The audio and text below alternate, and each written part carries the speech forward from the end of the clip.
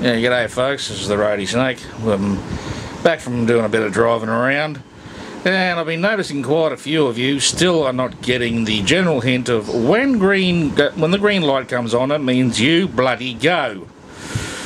Now look folks, it's not a, you don't have to be a rocket scientist to figure it out. And as for tailgaters, well, you lot are getting even better in this town of Mackay. And also, people who don't indicate but want to change lanes, dropping, dropping in and out of lanes, you're getting worse people as Easter is coming along and this is why I'm saying this. Start learning your road rules a lot more better. Learn to see, watch, your, watch the traffic around you. Please. Because I can tell you one thing now, come up to Easter, we don't need any more deaths. We have enough problems as it is with COVID.